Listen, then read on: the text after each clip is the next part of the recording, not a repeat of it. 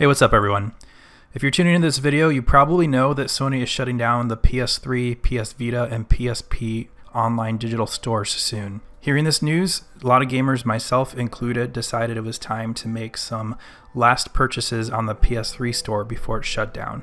And to clarify, once the PS3 store is shut down, you'll be able to keep that content that you've already purchased. You'll be able to download it again, you just won't be able to make new purchases on the PS3 store. At least that's what Sony's announced so far. If you're watching this video, you might have run into the same problem that I did, where I made a purchase, but I was unable to download the content that I had just purchased. I instead was presented with an error code upon trying to download it. Alright, so what I'm doing in this video is showing you a workaround that worked for me allowed me to download the content after making the purchase. I want to be clear, this problem is on Sony's side. It's widespread, many people are having this issue.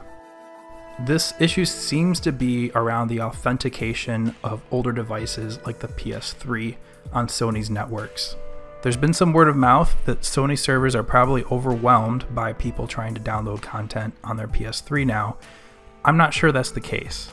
So let's get into this workaround. And again, it's a workaround, it's not a solution. Sony needs to fix this on their side and hopefully they will eventually.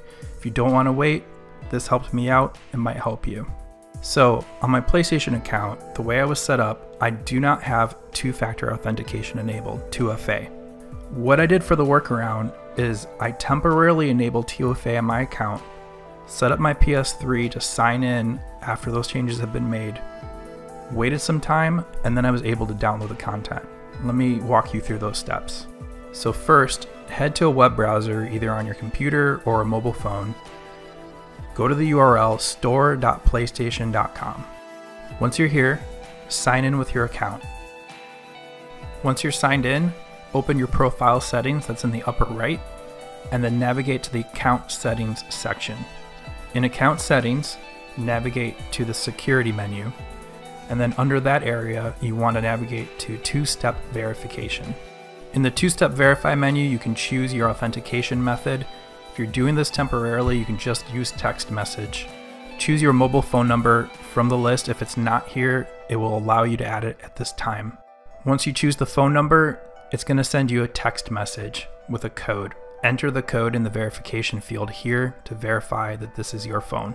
Alright, next is going to verify that 2FA has now been turned on and will present you a handful of backup codes. These codes can be used if for some reason you can't get to your verification device. In this case, it would be your phone.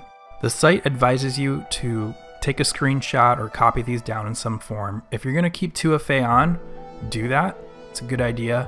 If you're going to turn it off at the end, you don't really need to worry about this. These codes are generated every time you turn on 2FA. You can confirm that you've read this dialog and the site will then prompt you to log in again. And this time it'll send the text message to your phone and you'll have to enter that in in order to log in as well. Alright, great. Now once you're here, there's another thing that we need to do. Now that you've set up 2FA on your PlayStation account, the PS3 actually does not support entering in 2FA codes on login. So instead what needs to happen is that you set up a device setup password. What this does is it generates a password that can only be used by a single device. In this case, what you'll do is use the generated password to log into your account on your PS3. Once you've done that, that password can only be used for that PS3. Now don't worry about the permanence of this, you can undo all this and redo it again in the future if you want to. So on the security settings portion of the website, choose device setup password. Here, click generate new password. Once you've done this, you'll be shown the new password. Take a screenshot, write it down, whatever you need to do. Next, head over to your PS3, and in the crossbar menu, head over to the PlayStation Network section. If your PS3 had been left on during this process, highlight the account management section, press triangle to bring up more options, and choose sign out. If your PS3 was off while you were setting up 2FA, likely this area here will prompt you to sign in rather than having you sign out. Either way, you want to get into the sign in area. And in the section where you would normally enter in your PSN account password for sign in, you want to input the device setup password that we just generated. Make sure you check the check marks that will log you in automatically. If you did this correctly, your PS3 will properly log in to your PlayStation account. However, this by itself is likely not enough to allow the download of your content. I've tried this twice, and in my experience, I needed to wait for some time before I was able to download the content again. So this is just me speculating, but I'm going to take a guess that whatever this does to your account on the Sony servers takes a while to propagate across them. So at this point, actually turn off your PS3 and walk away from it for some time. During the recording of this video, I walked away for about an hour. Alright, now that you've given it some time, come back to your PS3, turn it back on. In the crossbar menu, navigate to PlayStation Network, Account Management, and then Transaction Management. If you had done the device password steps correctly, you should already be logged into your PlayStation account. It should not prompt you again. Under Transaction Management, you can navigate to Download List and see the list of content that you have attached to your account.